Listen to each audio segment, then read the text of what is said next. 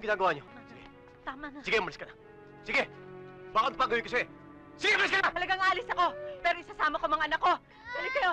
Halika. Tayo, Alis, hindi mo sasama ang mga bata! Sasama ako sa'yo, Nay. Sasama ako. Dito ka lang. Hindi ka nasama. Ano bang ginagawa? Umalis ka na! Tay, antok pa ako. Nanay niyo, Umalis na po tayo, napunta na po sa palengke. okay na kagaya. Hindi kayo papasok.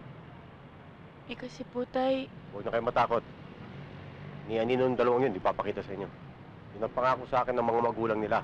Umayak na kayo. Sasama ko kayo sa eskwela. Bibili kayo? magkano? 20.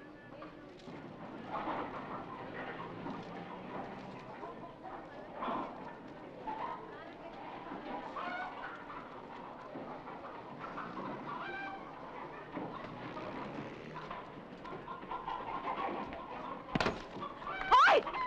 Hoy! Magnanakaw! Hoy! Bumalik ka dito!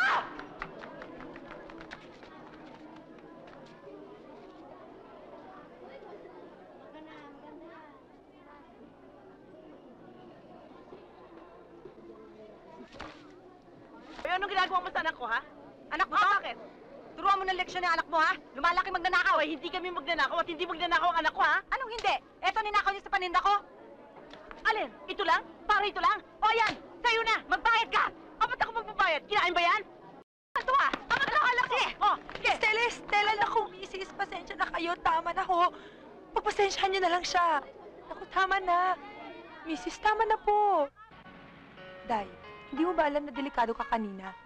Eh, kaya-kaya kapag tulong-tulungan ng mga tao dun sa palengke, ha? Eh, buti na lang napakiusapan ko pa yung nanay nung bata. Ami, Anghel de la Guardia ba kita? Ano? Kasi tuwing kailangan ko ng tulong, bigla ka na lang sumusulpot. Ganun daw ang Anghel de la Guardia, sabi ni Itay. Anghel de la Guardia nga ba kita? Ako pa bang pagkamalan mong Anghel de la Guardia? sa bagay, dinadala ko naman ng mga lalaki sa langit. Nako, Day, dito sa Maynila, hindi na nagtatagal yung sinasabi mong Anghel de la Guardia. Hindi na uso yun. Uwi na ako. Salamat uli sa tulong mo, ha? Teka, teka, teka. Kumain muna tayo. Sagot ko. Ayan o, mamili ka. Tapos, samahan mo na rin akong sunduin yung anak ko dun sa daycare center. Sige na. Ayan o, masarap yan. Puro lomi. Hindi ako mahilig sa lomi. Ayoko. Salamat. Naiihi ako. Saan ako, Beta? Hindi naman lomi yan eh. Ah, dun o.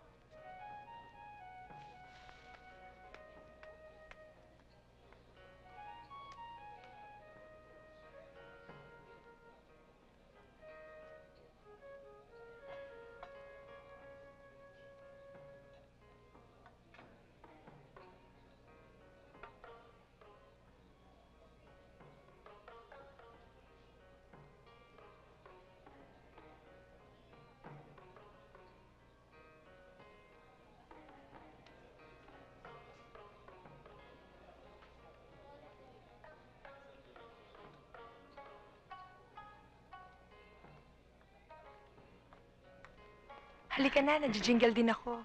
Ay, ito lang pala.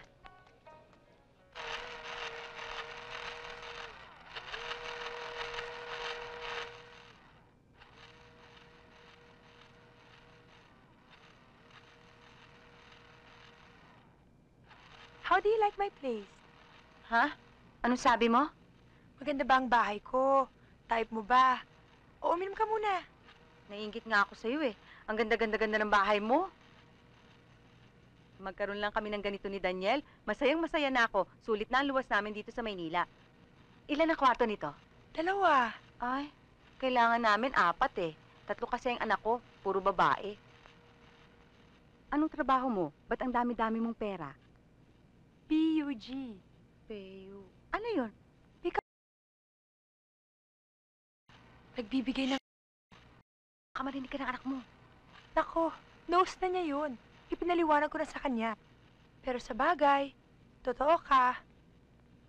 Nakakahiya nga talaga yun. Eh ngayon, may ingit ka pa ba sa akin? Tabang, kulang sa asukal. Naku, dagdagan mo na lang ng asukal dun sa kitchen dun, oh.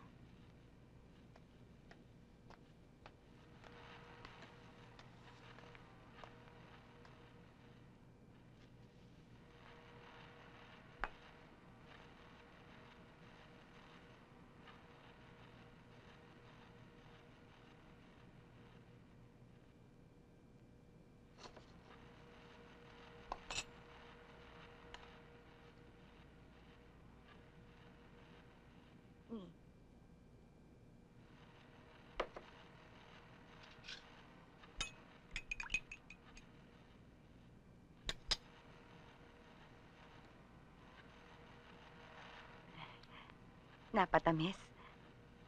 Sabi po ni nanay, wag daw po ako magpapapasok ng ibang tao. May bibigay lang akong regalo sa inyo. Para sa inyo ng mami mo. Sabi po ni nanay, wag daw po ako tatanggap ng kahit ano pag hindi ko kilala. O sige, iiwan ko na lang ito dito. Kunin mo na lang pag alis namin, ha?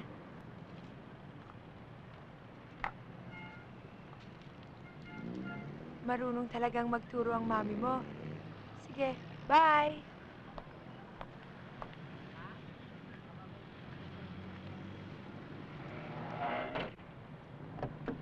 Pasok na.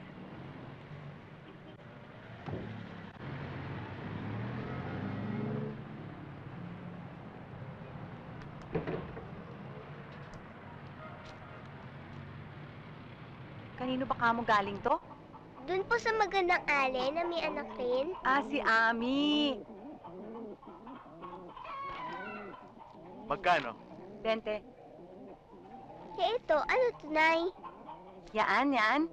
Yan ang umpisa ng pangalan ng ate mo, Ate Gina. Ga. Eh ito po, Nay, ano po to?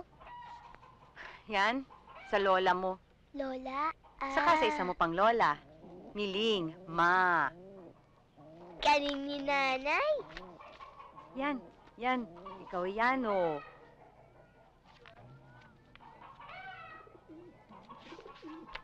Yun, ito, ito. Sa akin yan. Eh, Stella. Ito sa tatay. Daniel. Da. Yan. Yan. Um, Ate Beth mo. Ba. Galing talaga. Saan ba yun? Ito po, ano po to? Ito. O sige, ito na lang. Ano po to? Ano pong basa dito? Ito anak, tignan mo, oh. Ang ganda ng kabayo. Ang daming guhit-guhit. Oo Ang nga dami, po no? eh. Ang ganda. Ganda.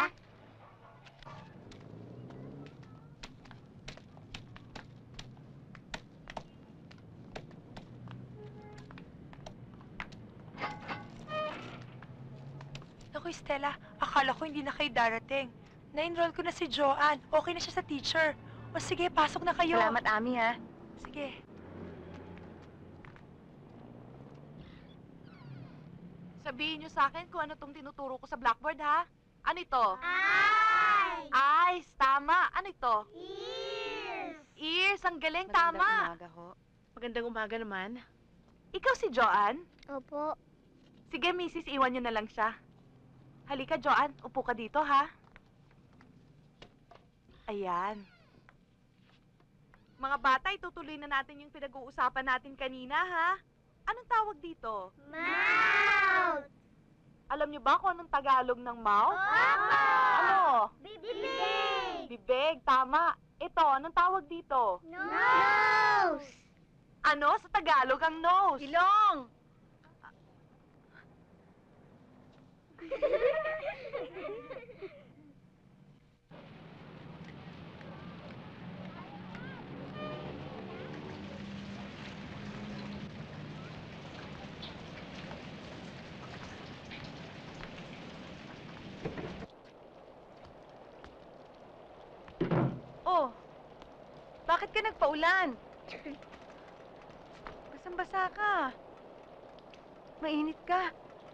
Halika dali, magpalit ka.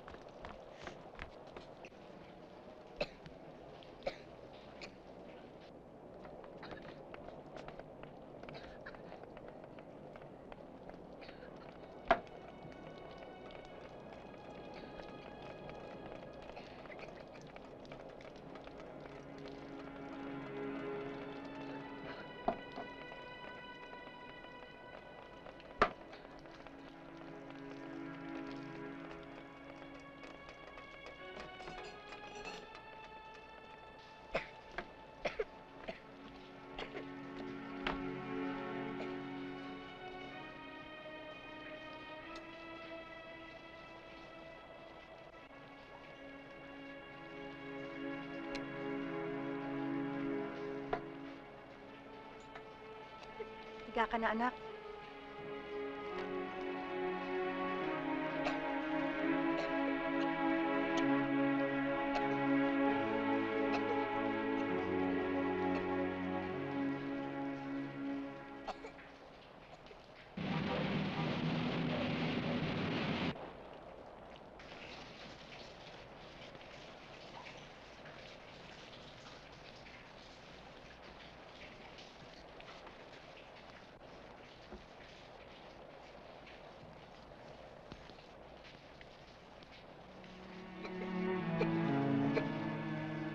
Joanne?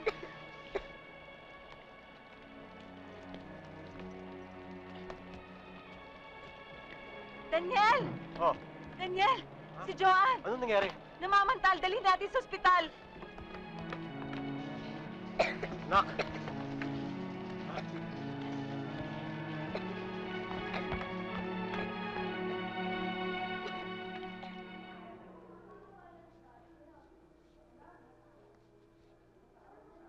Doktora, 37.5.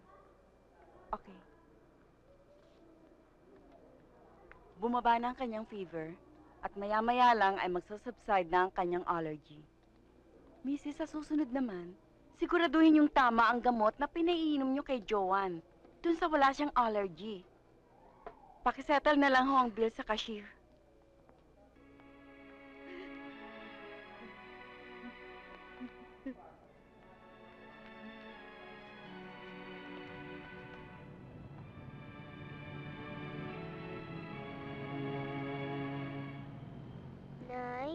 Tabi tayo.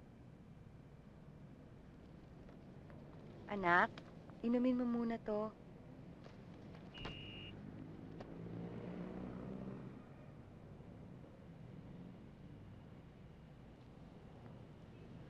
Bunso, alam mo naman siguro, hindi sinasadya ng nanay yung nangyari.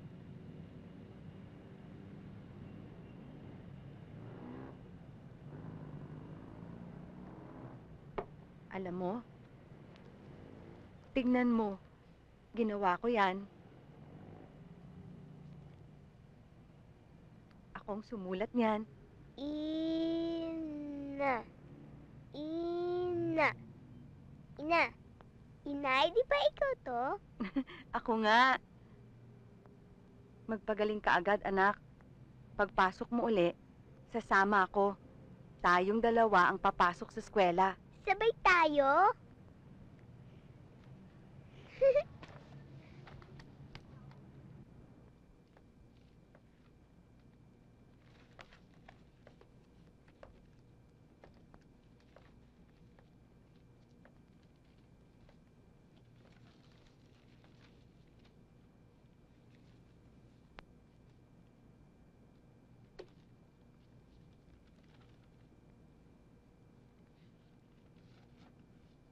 You have five minutes left.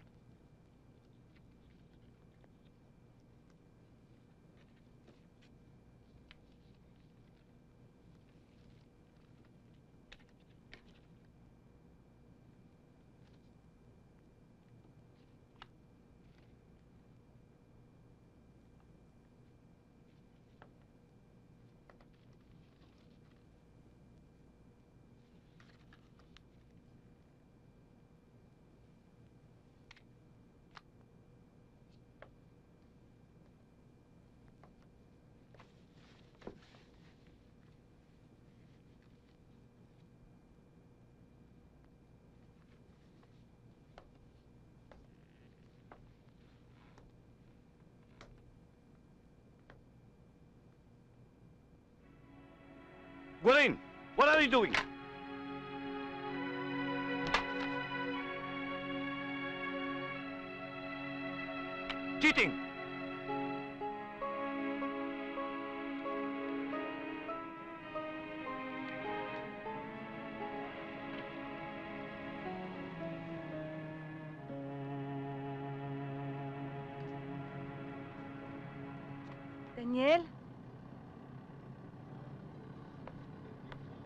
Babalita ako sa'yo.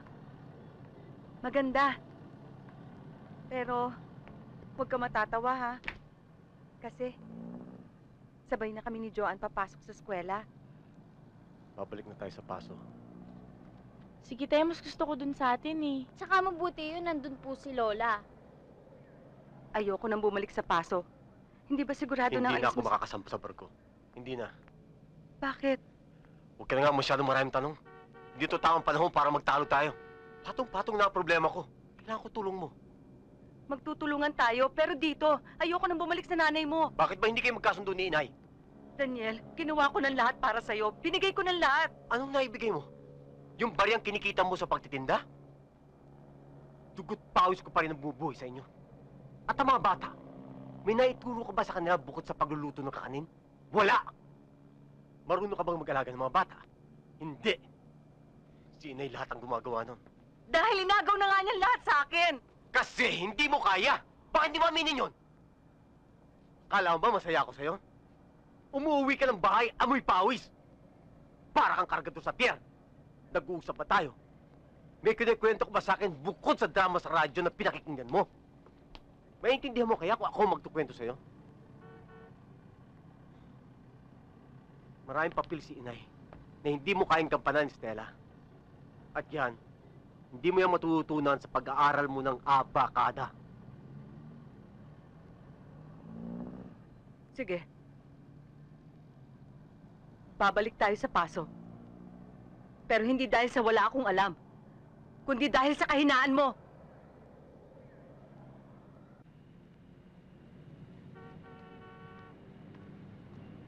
Nasaan ang mag-aama mo? Kinakausap ni Daniel ang principal ng mga bata para sa paglipat namin. Estela, sayang naman yung... Kailangan naming umuwi. Hindi kami mabubuhay dito. Eh, paano na yung plano mong mag-aral uli? Hindi ko naman talaga kailangan yun eh. Dati, wala namang problema. Ngayon lang, dito sa Maynila. Pero Estela, kailangan mong mag-aral. Kailangan mong matutong magsulat at magbasa. Hindi lang puro pangalan ng mga anak mo. Ami, ang kailangan namin, pera. Hindi papel, hindi letra. Para hindi sumala sa oras ng pagkain ng pamilya ko. Ikaw, nakapag-aral ka. Anong nangyari? Saan ka dinala ng diploma mo? Ami, hindi ko sinasadya. Okay lang. Meron ba namang na balat sibuyas? Estela, alam mo bang sinasaktan mo ang sarili mo nang hindi mo sinasadya? Wala naman ako magagawa eh. Ami, salamat sa lahat-lahat ha.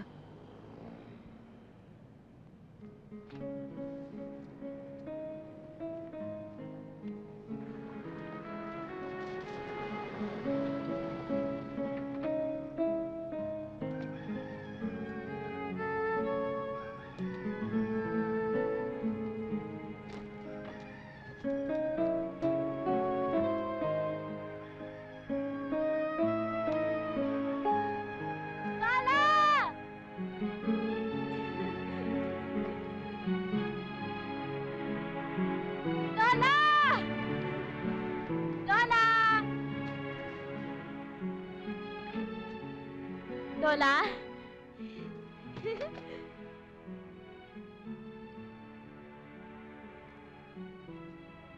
Lola, bakit po? Di po ba kayo masayang makita kami?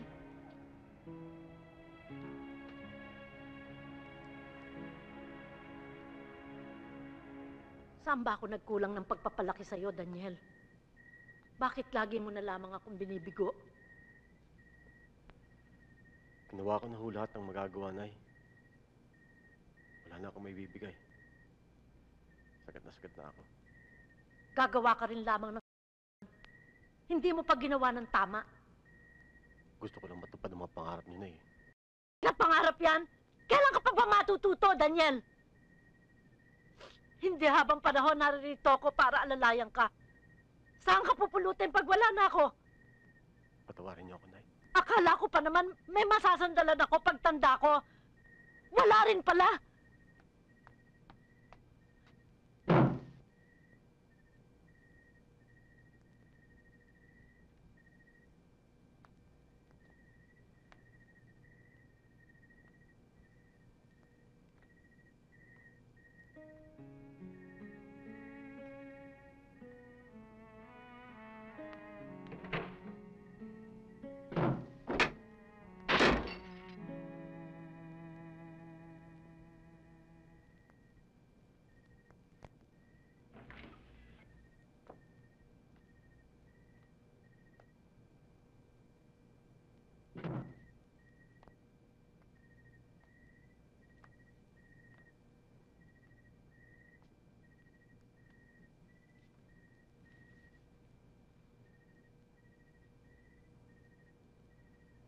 Umalis na tayo dito, Daniel.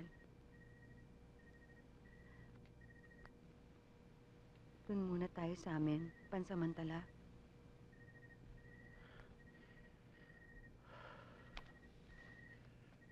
Hindi ko pwedeng iwan ang inay.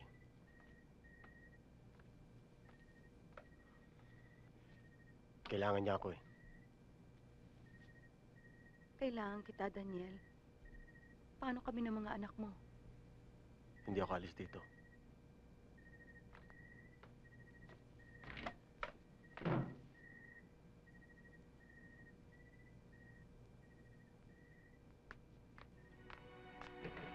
Gina, Johan, Beth, bumangon kayo. Aalis tayo dito. Gina, bangon. Johan, gising, gising. Beth, bumangon kayo. Aalis tayo. Beth, ano ba? Mm. Tumayo ka Ay, riyan. bakit ba sa inyo ba kami dadalin? Maldita ka, ha? Huwag mo ko pinagtataasan ng boses. Pag sinabi kong bumangon ka, bumangon kayo riyan. Hala, dali. Bilis. Magbalot kayo ng gamit nyo. Bilisan nyo. Beth, ano ba?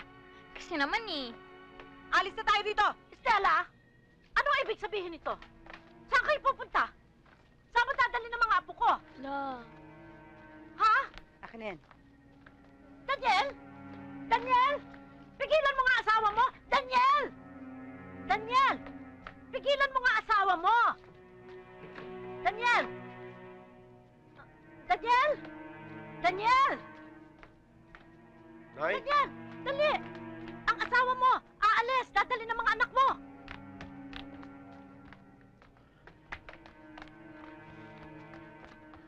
Ano itong kalokohang ginagawa niyo? Sige, Tama na. sige, umalis ka na. Sige! Baka pa gawin ko sa'yo? Sige, umalis ka na! Talagang alis ako. Pero isasama ko mga anak ko. Dali kayo. Hindi ka aalis, hindi mo sasama ang mga bata! Kasama ako sa'yo, Nay. Kasama ako. Dito ka lang. Hindi ka nasama.